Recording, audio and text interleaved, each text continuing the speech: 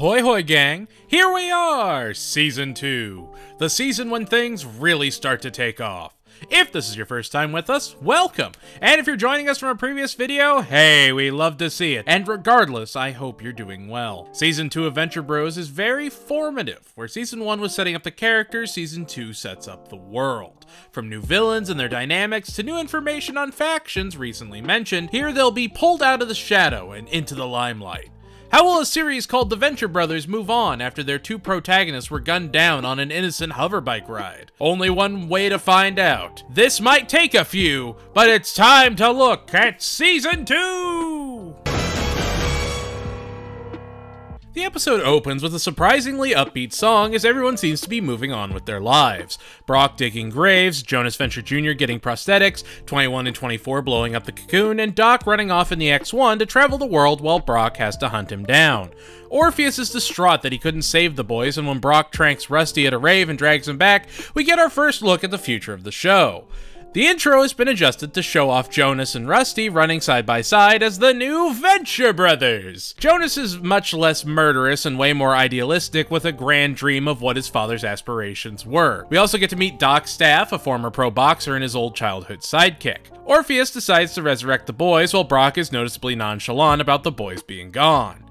Meanwhile, the Monarch is planning to break out of prison and starts coordinating the prisoners to rise up and overthrow the guards while Phantom Limb bribes them to do nothing to keep Monarch trapped forever so he can keep Dr. Girlfriend to himself. This is 2006. To have this much detail in an animated series at this time is unheard of.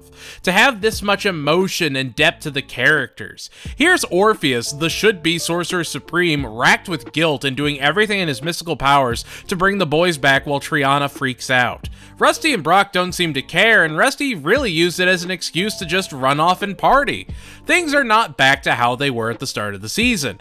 Actions in the Venture Brothers have consequences. And as Orpheus uses his necromancy spell and Rusty teleports himself into a wall, he gets a knock at the door by two half-formed clones of Hank and Dean. That's right, the boys are clones. When you have accident-prone kids, you get them helmets, and when you have death-prone kids, you keep clones around. It's genius, and how they play it off is hilarious. The silent killer bit gets me every single time. It just makes sense in the most morbid and twisted way imaginable, and yeah, of course Orpheus cares about the moral issues while Doc just doesn't, because he's a man of science who was raised by Jonas. And as King Gorilla defies Phantom Limb's orders and helps Monarch escape prison to be with the one he loves, and the boys start to return to normal, the episode ends. Talk about a great way to start a season. Not only do they explain what's going on, they also build on the world while doing it. Brock and Doc have been through this before. They know what to expect and they know it's not the end at all. The boys have all the same memories thanks to their education beds, which are borderline brainwashing, and there's just plenty of ways to evolve from this jumping off point. Remember the first season was the foundation we're building off of. Now it's time to build up and out. Also, another huge shout out to the voice talent. Doc Hammer and Jackson Publick, aka Chris McCulloch, are nailing the myriad of voices they perform, while James Urbaniak is able to riff off of himself as Jonas and Rusty excellently while switching into Phantom Limb with nary a delay. Patrick Warburton is just flawless, absolutely no notes. He brings Brock to life in the best way possible and really helps give him a more human angle. Like, this is how you write a season premiere. This is how you sculpt true and genuine art. Sure, the animation quality is still improving, but it's night and day with where we were a season ago. Things are only going to go up from here. You know what's not going up, though? The Cocoon.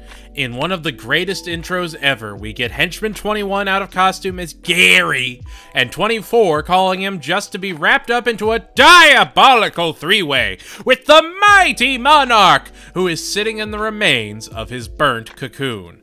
Monarch demands the rest of the henchmen come back, and 2124 are the only ones available, so they do what any loyal sidekicks would do. They go to the inner city to recruit new members. Gary, being kidnapped as a child by accident and sort of indoctrinated into the Monarch's crew, is such a neat touch. And the fact that comics, movies, TV, and everything pop culture related are still more or less the same in this world really adds that extra layer of depth. Pogs, Magic the Gathering, Lord of the Rings, etc. are all canon in this world, which makes it so much easier for the dialogue to feel more natural and lived in than having to come up with a whole extra mythos. Sure, things like Giant Boy Detective exist, but by and far, they're few and far between. Anyway, while 21 and 24 are gathering new members, it's Hank and Dean's birthday! And so it's time to celebrate by taking them to the mall! Hank to go shopping with Brock and Dean for his first ever speed suit, all while Monarch stalks Dr. Girlfriend in a giant flying cocoon. The Monarch's new henchmen are armed with actual guns and aren't part of standard guild issued henching. They're doing their own thing, eventually taking over the cocoon, kidnapping Doc, and shooting Brock. It may not seem like it, but the mall scene is huge. Here, the family's interacting with normal people and shopping in normal locations. They aren't globetrotting to Africa or dealing with some monumental event. They're getting a Nerf football. Brock is buying a sealant gun. The woman at the store has no idea what a speed suit is. This is when the veil starts to get lifted a bit. Sure, there was some back in the Trial of the Monarch, but they very much paint these people as weird for being this into henching and super science. And as they're taken hostage, Phantom Limb uses Brock to storm the cocoon and get back Dr. Girlfriend, who was actually with Hank and Dean the whole time, showing why she's incredibly competent on her own. By and large, she's the reason the Monarch makes any sort of progress in his desire to arch venture. Hate Floats is a perfect way to rebuild after the season finale. It's how you tie up loose ends while still establishing characters and rebuilding everything. You can't have the Monarch just in prison. He needs to be out arching venture. This is how you reset that up. It's a good opportunity to not only get more time with the boys, but also see they're still more or less the same. And it's not like it's forgotten they're clones, it's almost spilled several times throughout the episode. But a very important thing happens. Brock and Doc treat them like they're the only Hank and Dean out there. Even if they have a clone do-over available, they're still kids and it's still important that they treat them like the originals, even if they're buried in a plot on the complex, which totally won't be brought up ever again. Hate Floats is in a lot of ways another season premiere. It's necessary to watch it directly after Powerless in the Face of Death and really shows that if you blink, you're going to miss something huge in this world. While for the most part there's a good chunk of filler episodes in something like Rick and Morty or Archer, Venture Brothers gets you comfortable and then pulls the rug out from under you. This is when the binge begins. This is where it becomes the most apparent that they are setting up a bigger story. It might be subtle, but the pieces are starting to fall into place. It's the return of Molotov! The episode opens with a flashback to when Brock first joined the OSI, and we get the introduction of one of the best characters ever made, Colonel Hunter Gathers, very obviously inspired by the legendary journalist Hunter S. Thompson, a founder of Gonzo Journalism, who you'd recognize from movies like Where the Buffalo Roam, starring Bill Murray, or Fear and Loathing in Las Vegas, starring Johnny Depp. He hazes Brock and pushes him further and further until he finally jetpacks off and welcomes him to the Office of Secret Intelligence. The episode then fast forwards to Brock packing up for a special assignment and having Molotov look after the compound while he's gone. Unlike Hate Floats or Powerless in the Face of Death, where there's a bunch of smaller stories, here there's really just the A and B story. Molotov babysits and Brock has to hunt down his trusted mentor, Hunter Gathers. That's it. But it gives us so much time with those stories that they have so much more room to breathe. We get to see Molotov genuinely cares for and lusts for Brock. Hank has a crush on her. Doc sees an opportunity, and Dean is terrified of her and just wants to go back to his old life. All while Brock is traversing the Amazon trying to hunt down his teacher as we get assorted flashbacks where he's reminded constantly that no women and no children. Of course, there's some fake outs where he thinks one of his lady companions has been unalived by Hunter, which he was really just asleep and he gets sent into a fury. Like, Brock is a fascinating character. He's a trained weapon, absolutely, but Hunter gave him a code and treated him like a person. He's not barbaric, he's still got a ton of personality, and despite being the bodyguard, he's one of the strongest moral compasses in the whole family alongside Orpheus. He's not afraid to tell Doc when he's made a horrible mistake, and even as they get to the end of the episode and he finally finds Hunter still under anesthetic for a sex change operation, he lets them live. No women, no children. He put his feelings for his mentor over the mission, and while it may not seem like it now, this would have sweeping consequences as the series goes on. I love that Hunter is viewed as some crackpot for pushing these deep conspiracy theories, and Brock in a way just eats it up because, yeah, why wouldn't he? Their dynamic just really works. The compound stuff is alright. The best part is Hank and Dean not really understanding what's going on, but once Hank gets drugged, I don't know, it feels like the episode kinda drags. Fun fact, Assassin Nanny 911 is a reference to Nanny 911, a nanny reality show from a very weird period in American television. We also get the first introduction of Triana's friend Kim, which is nice, and Molotov's flashbacks with Brock, but overall it's all just fluff compared to the Brock mission. I don't know, there's this creeping chill in the episode that you wouldn't expect. There's this tension that you don't know what's going to happen next, again beautifully brought to life by J.G. Thirlwell's outstanding soundtrack. Like going through American Dad, I knew there'd be episodes I'd have to slog through, and for me, this was the closest I came to a slog episode in this entire rewatch. An episode packed with so much quality and character depth, just juxtaposed with other brilliant pieces, makes it look like a slog in comparison. Assassin Nanny is essential for moving forward, even if you don't realize it on the first watch through. You'd be inclined to skip it if you didn't understand what it was setting up, and even then, it's still just terrific. This is probably the only filler of the season, and even then, it's essential viewing because it's. I mean, it's just perfect. The episode opens with a last time on Escape to the House of Mummies, Part 1. I'm not gonna lie, when I was a kid and got the DVD set for Season 2, I legitimately thought it was a bad copy since it didn't have Escape to the House of Mummies, Part 1 anywhere. Much less the implied existence of Escape to the House of Mummies, Part 3. I was a dumb kid, obviously. Anyway, the family is trapped dealing with a magical cult and take off on a time-traveling adventure to stop them. And when the family gets stuck in a spiked wall trap, Doc escapes determined to save them as he goes back to the compound and gets into a bet with Orpheus that he could shrink anything down better than he could ever do, and yeah, that's the episode. Doc, Pete, and Billy competing against Orpheus to see who could shrink down more, all while Brock, Hank, Dean, and other Brock have to deal with the cult of Osiris. It not only sets up that the Rusty Venture show was a real thing based off Rusty's life as a boy adventurer, but that Billy was a huge fan of it, and you really get to see Rusty and Pete just bonding and laughing. Like, compared to Rick and Morty, Rick has very few friends. He has fewer people that he actually trusts. Doc has friends. He may be abusive to them from time to time, but they're still close, and Venture Brothers takes the time to showcase these relationships. It takes the time to build them up and show off that Rusty is not irredeemable he is doing his best. The B story is just a fantastic homage to those classic Jonny Quest tropes. They have time travel, costumed henchmen, spiked walls, mummies, everything you could possibly ask for. And even while Doc's contest results at the end of the episode, everyone is still stuck dealing with the cult of Osiris, which leads directly into Escape to the House of Mummies, Part 3. An episode that obviously never came to fruition, which in and of itself is a terrific joke on its own. And like, I know it's been said before, but it needs to be said again and again.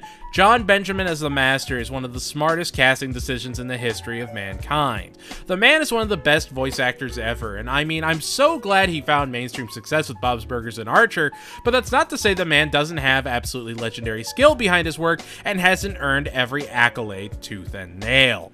I'm not going to drone on, I promise, but Escape to the House of Mummies is just fantastic.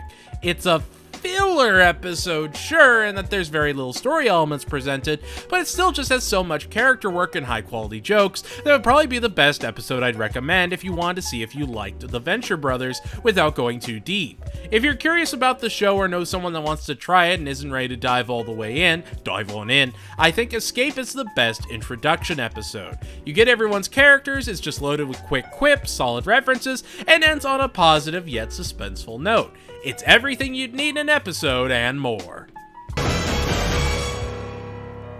And almost like they knew they had to make up for lost time, here we have effectively a story shotgun. It's the night before Rusty's 44th birthday when Brock finds a video left by Jonas Sr. detailing the location of his greatest invention as the family has to set out across the world to gather each piece to put it together before midnight, all while a galactic inquisitor from beyond the stars follows them around and shrieks for them to ignore him. This episode is really something special in that not only is it a massive ensemble story showcasing all the different characters of the last two seasons, but also acts as a bridge for them to all to interact with one another. They go to Spider Skull Island to try and steal the first part from Jonas Jr. when they're caught by the Ghost Pirate captain from the first season, who now works for Jonas. They all agree to work together and go their separate ways to get all the parts to downtown New York City in time. This works as a great vignette episode where everyone has a bunch of mini adventures that ultimately culminate with the Venture family coming together to stop the encroaching threat. We have Jonas and the captain going to see Action Johnny, a drug addicted version of an adult Jonny Quest, Rusty and Brock going to One Impossible Plaza to try and get Sally to let him in so he can take the piece when Professor Impossible isn't around, Hank and Dean having to go and get a piece from Colonel Gentleman, who they think is unalive when they arrive, and all this is just slathered with references. Huggy, the Impossible Family's robotic helper, a thinly veiled reference to Herbie, the robo helper for the Fantastic Four in the animated series. You get more of Stephen Colbert's brilliant voice acting. There's again this meshing of old world and new age technologies where small real film camcorders and intergalactic teleportation devices are just as believable in the same world. And it's just, yeah, 20 Years to Midnight is not only a terrific story and a great way to show the extended family working together, it still has just those super high quality jokes that build off of the pre established lore. Like, this is not a series you can just jump into anymore. You need to watch from the beginning to get who all these characters are, and it does an excellent job of catching your attention and adding enough new elements that you're curious to see who these people are and how they're first introduced. It's just, eh, when you look at the series and you approach it, it, you can watch this episode on its own, absolutely, but you're only getting half of its weight, half of its impact. It has enough jokes, it has enough references that you can be like, oh, the Impossible family is like the Fantastic Four. That's great. Oh, that's a Jonny Quest reference. I understand that. But you don't understand the inner workings of the family. And so it works as both a casual, you catch it on Adult Swim at like 12:30 at night. Oh, I haven't seen the show, but this looks fun, as well as a building off of all the building blocks we've seen before it. And the last bit with the messenger is also just really fantastic and seals the episode brilliantly. Oh boy. Okay, on paper, this episode doesn't seem like a lot, and then it just explodes out of nowhere. After discovering a certain sensual musical starring one Dolly Parton and Burt Reynolds that he has no idea about, Doc has Hank and Dean go out with Triana and her friend Kim from Assassin Nanny 911, while Brock drops them off and gives them dating tips. We get 21 and 24 tagging along as the Monarch and an online date join Dr. Girlfriend and Phantom Limb for a double date, and everyone starts to speculate on how Phantom Limb lost his limbs, with most of the stories focusing around how Billy Quizboy was somehow a part of it. Dr. Girlfriend is tired of seeing Phantom Limb do the boring, uneventful villainy, and so he decides to crank it to a Spinal Tap 11 and take out the Venture compound to prove he still has it. Brock then has to keep Doc alive as he takes out the guild minions and eventually goes after Phantom Limb. This episode is what makes Venture Brothers so great. It starts as a very simple, almost peaceful, the boys are going on a date, and so is the monarch! Wacky hijinks ensue! And then quickly escalates to the compound being under attack, and Brock having to go and save the boys covered in blood and ready for war. All because of a bet. I mean, other than the fact we get to see Brock go full on Berserker in a way you don't really get, this episode marries the two settings brilliantly. You feel the awkwardness of the Monarch trying to make Dr. Girlfriend jealous, as well as the sense of urgency in Brock trying to do everything to keep the family, his family, safe. The fact the climax of the episode has Brock in a men's bathroom confronting Phantom Limb in a tense yet comedic standoff shows why this show deserves all the love it gets. The violence isn't downplayed or the drama subverted with a joke. You don't have them making these quips as they're going total goblin mode on these people. They know how to hang on these tense moments and to build them up so that when they do have that punchline, it feels earned. Having Doc have to basically stop the blood flow to his arm by putting a Christmas tree holder around it is funny, yet it's also effective and it makes sense for him. The Venture Brothers earns every laugh it gets out of you, and even if you don't get a joke, they know you'll probably pick it up on the next one. The show wasn't made for you. The show was made as a passion project, and they're not going to water it down for people to get every bit of it, but the more you get, the funnier it becomes. Venture Brothers really is one of the weirdest and most surreal animated series out there in what it's willing to do. I could never imagine another show doing a plot like this even half as well. It just, it's baffling to me that they would go this far and we're barely halfway through the season. And even then, it doesn't necessarily feel like there are consequences to this episode, but it's still gripping. It builds Phantom Limb as a growing force. We've seen him, ever since the first season, have this sort of impact, be a higher rank ranking guild operative than the monarch, but now we're actually seeing that he commands an army. We're seeing that he is able to be a threat to Brock, to Doc, to the boys, and that he's not afraid to get violent when he needs to. Something that will be played on much, much later. Surprisingly, not a filler episode, but definitely feels like a much needed breather episode after Victor Echo November. After coming back from a costume contest dressed as Chewbacca, Princess Leia, Old Ben Kenobi, and the Bat, the family flies over Underland, which is smaller than Detroit in northern Michigan, where they are taken out of the sky by Baron von Underbite, who will finally have his revenge on Doc for blowing up his jaw. Reminder, he didn't do it. However, as they're taken hostage, Dean, in his Princess Leia costume, is taken to the Baron to become his bride, while Hank, everyone's favorite little bat boy, and the rest of the family join the Underground, led by Catclops and, and girl German bad guy leader, to stop the wedding and take down the Baron once and for all. It's simple, and it works because of it. Doc makes references to the boys being clones and is much more nonchalant about them unaliving, compared to Brock, who genuinely seems to care despite knowing that they can be somewhat easily replaced. It's a sweet touch that he really does care about them, and seeing Hank come into his own is just terrific.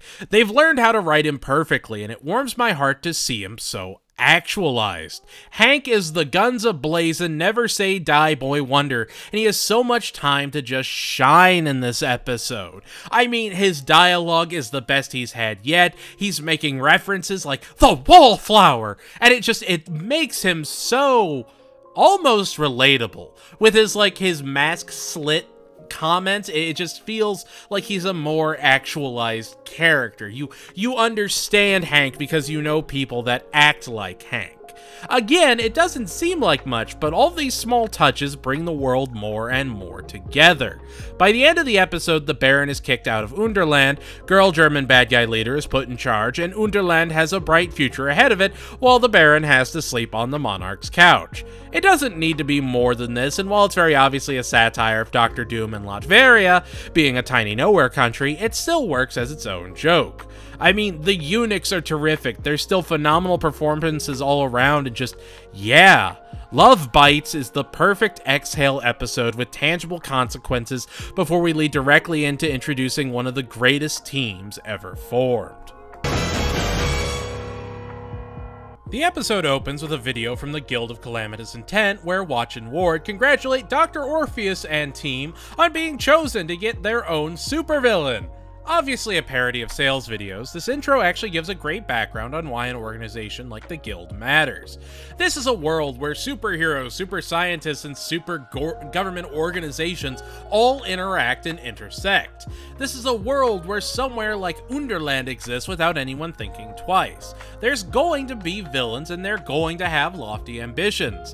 The Guild exists as a mediator, as a way to make sure they don't go too far and break an already delicate system. They set up treaties, curb inappropriate behavior, and most importantly, make sure a villain is the right fit for who they've been assigned. They want to make sure power levels match to give both parties the challenge they deserve. It's just such a neat design that could only work in a world like this. Don't think too much on it, don't worry about it, but just appreciate the level of thought that's gone into this world that the guild has gone from being just mentioned here or there to actually having a tangible mission statement. They're just another organization. Of course, next season we'll introduce the council proper, but having this episode is super necessary for everything that comes afterwards. Anyways, yeah, Orpheus has to put together a team and pick his arch villain today. Meanwhile, Doc has the family figuring out what his walking eye should be able to do to entice the government to buy it, all while Guild Wasp are landing on the compound to set up the interview process. Dr. Orpheus astral projects to get his two most trusted compatriots, Al the Alchemist, played by the incredible Dana Snyder, and Jefferson Twilight, Blackula Hunter, played by Charles Parnell, who you'd most likely recognize from Top Gun Maverick. The three of them then go through their roster of potential villains while Hank and Dean have to entertain Triana until she's whisked away to the Torrid Zone by the evil spellcaster, Torrid. Not only is this a terrific introduction to Al and Jefferson Twilight and their dynamic with Byron, it builds the world and sets up how the guild operates. On top of showing just how petty Doc can be when he sends the Walking Eye out to try and get the villains to arch him, instead because he's just a wee bit jealous. We also get another appearance of Sergeant Hatred in the background, though he doesn't have any dialogue yet, and it's just, yeah, it stands on its own, but also builds on what was before it. Yes, I'm nerding out. No, I don't care. It's my video but just this attention to detail was not common, and I'm going to keep saying that until it rings home. The series was ahead of its time, and it's blasphemy it doesn't have more love, especially when they're putting so much thought into an otherwise ancillary element.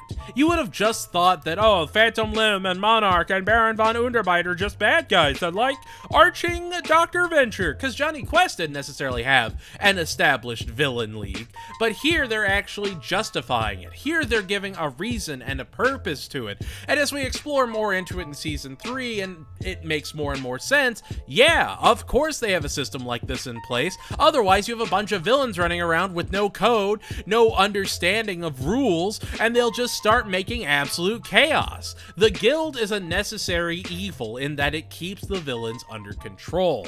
It keeps them from overacting. It makes sure that there is a balance of power so you don't have super powerful villains wiping out heroes and super powerful heroes just decimating villains. It's necessary, and this episode does a beautiful job of establishing it. Oh gee, and then we have Guess Who's Coming to State Dinner, which is just more peak. Oh no, I'm swimming in peak over here. Somebody throw me a life raft. As Gargantua 1 starts to careen into the ocean, Bud Manstrong struggles to keep the ship together as it burns up in the atmosphere. Anna tragically doesn't survive the crash landing. But that doesn't matter, because our little Boy Scout Bud is a hero who's going to be celebrated at the White House, and the Ventures are invited! And so, yeah, the Ventures go to the White House, and wacky hijinks ensue. Doc is determined to get time alone with the president. Everyone thinks Bud is going to Manchurian candidate the president. Bud's mom wants to sleep with Brock. Oh, and Hank and Dean have to get $5 bills together in order to give the ghost of Abraham Lincoln a physical form to stop another president from having their own theater moment. I I love Abraham Lincoln in this episode. Just that whole penny for his thoughts. It's just there's such a charm. Even the president is done incredibly well. Like it's it's this weird mishmash of like a Clinton character and a Bush character, and it's just like how can you make the most weird, awkward, uncomfortable president and yet give him this charisma, this exuded confidence. And you have Manhauser again. The episode is terrific. Like that's that's the quick and easy of the episode. Is it the most important episode ever made? No, hardly. But it's still great to see the family having their own adventures, and I really love this episode for Hank and Dean. It's just such a G. Willikers feel for an otherwise serious situation. Jinkies gang, we gotta help the ghost of Abraham Lincoln save the president. I don't know. With the revelations they have to deal with in the next few episodes, as well as everything that happens to them, in hindsight, this episode really is one of the last times they're just Hank and Dean, boy adventurers. It's not a send off of that idea at all, and they'll still always be Hank and Dean, but after this, there's definitely some of the sparkle washed away. They become much more aware of their own reality and their own mortality. I also just really love the President and General Manhauser in general, as they will make some appearances later on down the road. It's a wonderful episode that shouldn't be skipped, and honestly, while the tone is a little bit different compared to the episodes before and after it, it does feel fully figured, fully fleshed out. It feels important. While there are some elements that you may find uncomfortable, overall, it is a great episode worth checking out. Exhibit A. The episode opens with a cocoon hovering in front of an accounting firm and then raining fiery hell down upon unsuspecting financial advisors as the monarch and his henchmen storm out, having attacked the wrong place and having to bail after stealing office supplies, all while Doc gets possessed by an Oni and has to have Orpheus help him with his little problem. Meanwhile, Hank and Dean are training to get their driver's licenses when they're ambushed and kidnapped by a woman pretending to be passed out in the middle of the road. The woman being a former bodyguard of Doc's and an American gladiator named Myra, who thinks she's the boy's mother. While kidnapped, Hank reminds Dean of the time they were kidnapped by Sergeant Hatred and taken to the hover tank and how he did some things that we're going to talk about later on. But yeah, he he did some messed up things to the boys that Hank has yet to forget. And so Brock and Helper go to get the boys back. The cocoon is whipped into shape by the wide hipped, black drip wearing doctor himself, Dr. Henry Killinger, and his magical murder bag, all while Doc and Orpheus get dragged to a motel by the Oni and start to fight. Dr. Killinger is just great. He's such a wonderful character that just gets the Monarch back on the right track for no discernible reason other than he wants to help. He brings back Dr. Girlfriend and shows her how much the Monarch really cares about her, all while being a genuinely creepy looking guy, obviously based off Henry Kissinger. And I mean, to have 21 suspicious of him, to not know if he can be trusted, while 24 is just obviously all in on it, it really kind of shows how 21 is loyal to the monarch. How, after all these years, after even being kidnapped, he still looks up to him and doesn't want his life that he's become so familiar with sort of taken over and changed by a total stranger. The Monarch has a competent crew, and Killinger flies off into the sunset, his mission a success. And on the surface level, the episode does a brilliant job of just being a fun watch. But if you dig deeper and look at the episode in the grand scheme of things, everything that happened in this episode will be called back to in some fashion, and it's actually a big part of setting up the finale that we're going to lead into. With the Monarch and Dr. Girlfriend reuniting, Hank and Dean being a little bit more aware of their mortality, even bringing up Hank's memories of what Sergeant Hatred did to them. You get Brock and Helper having great chemistry and really showing off how Helper is a wonderfully written idea. He speaks in beeps and boops, but it's how they have orchestrated it, how they have provided him this voice and the, the shrieking. It makes him feel wholly realized. It makes him feel like he's complete. And I just, I love that. I love every member of the Venture family. And even just having Doc and Orpheus go through this over and over again. This is like the fourth or fifth conflict they've had this season. And it really shows that clash between science and magic. And it works because they don't necessarily hate each other. Orpheus just very obviously hates that Doc doesn't have the morals that he has. He doesn't have the humanism, which is greatly exemplified in the next episode. The last great exhale before one of the biggest events of the show. The episode opens through the eyes of one of the Monarch's henchmen raiding the Venture compound, saving Private Ryan style. When he runs into Brock, understandably, he does not make it. Doc, in an attempt to play God and wanting a healthy government contract, reanimates the corpse and creates VentureStein, the potential future of military technology all while Brock actually has a crisis of faith eating across from a man he took the life of, who isn't brought back and cognizant, but is a genuine, bona fide, reanimated corpse a la zombie. Orpheus confronts him about it and encourages him to join in his spiritual gathering with some friends at his place. And while all this is going down, some plucky 20 something teenagers, the Groovy Crew, stop their van at the complex and decide to go in and look for a mystery to solve. Yeah, that's right, it's a dark, twisted version of the Scooby Gang, each inspired by different famous psychopaths.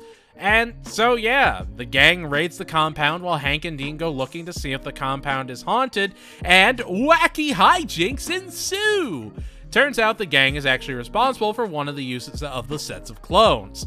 And as Brock tries to settle his turbulent mind, we get a giant hunter rising from the sea of his dreamscape, like a big-breasted Gojira, and tells him he's going to Secret Service Heaven, which is even better than normal heaven, because it's full of secrets and espionage. It's a nice touch to have Brock struggling with his identity and coming face to face with Doc actively cheating death and not being okay.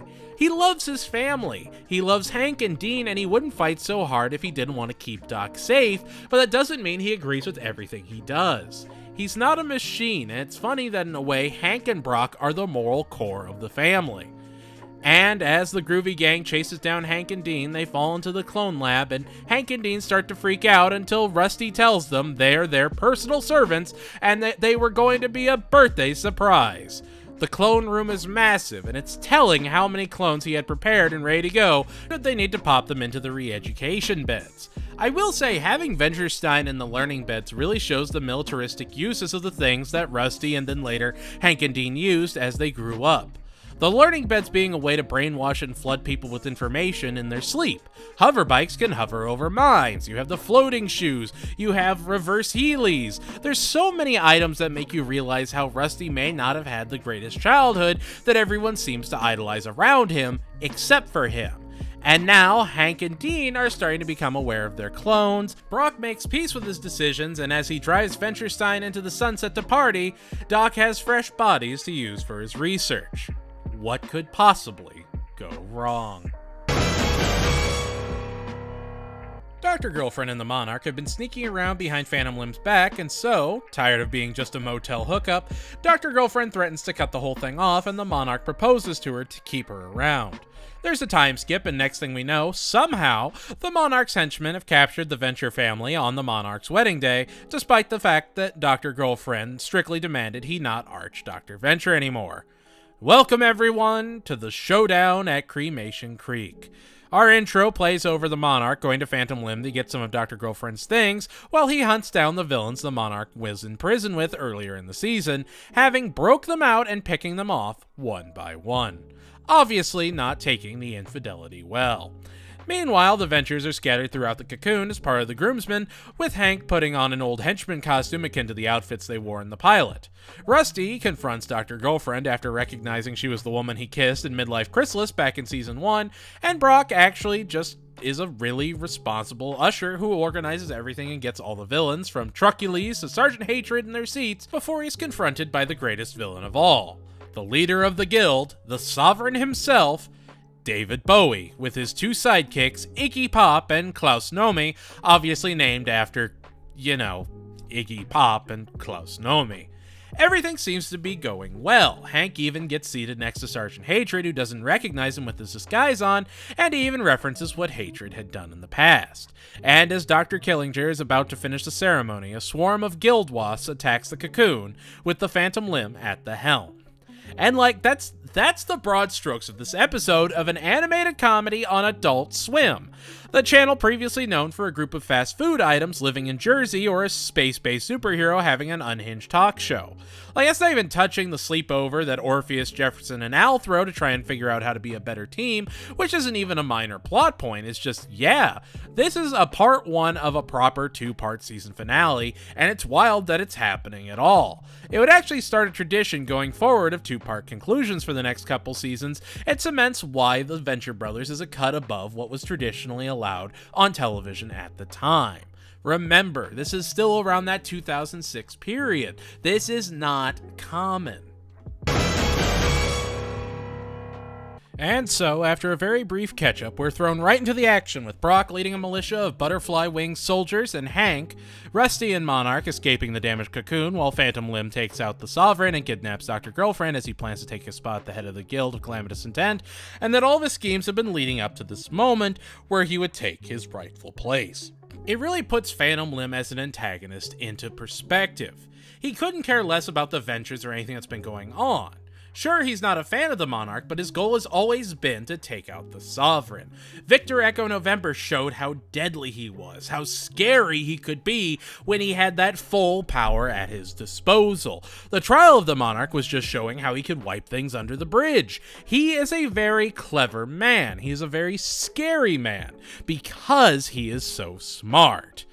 Dean, meanwhile, is hallucinating in the engine room of the cocoon and going on a wild adventure alongside everyone's favorite giant boy detective that he imagines is Billy Quizboy, and all the other characters are just interpretations of the real life people he interacts with, with his dad being a rat. It's subtle, but the cracks are starting to show.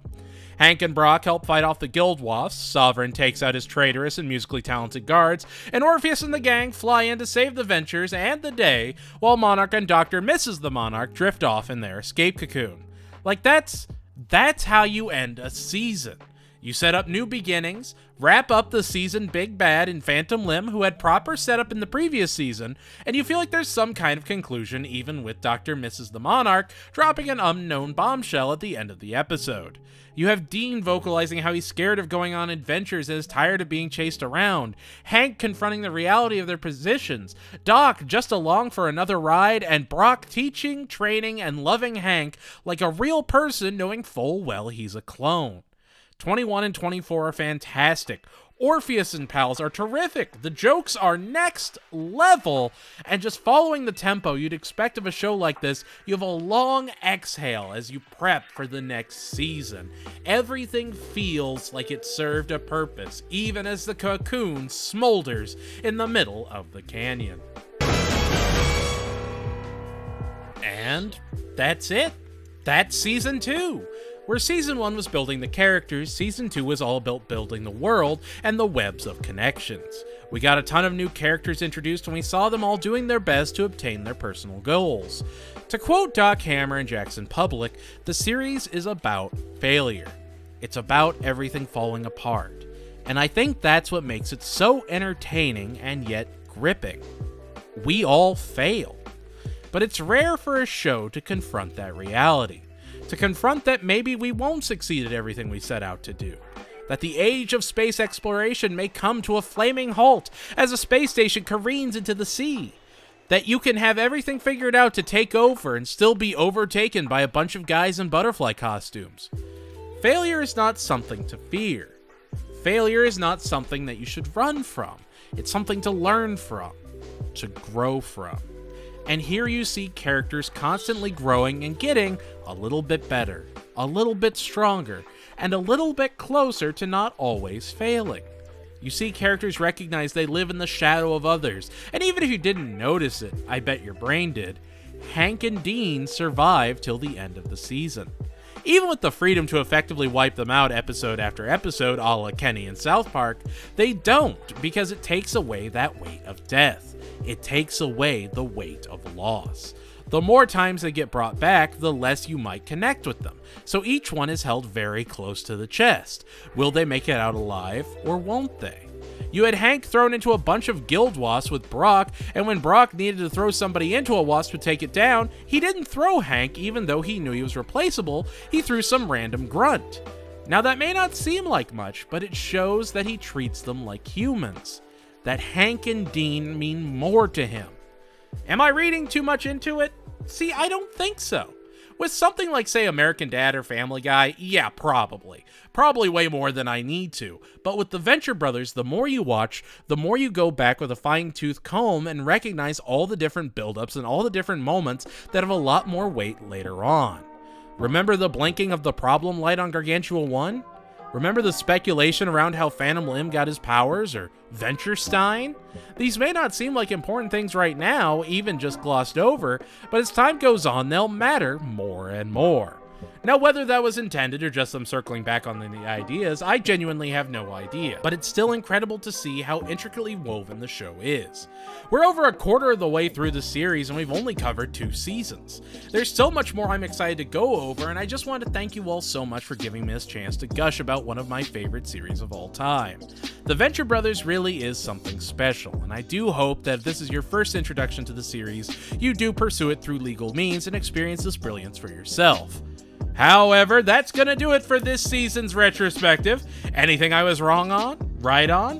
What was your favorite episode? Least favorite? Let me know in the comments below. And if you liked what you saw, make sure to like, comment, share, and subscribe. Tell your friends we're out here always spreading that good word. And like always, thank you so much for being you.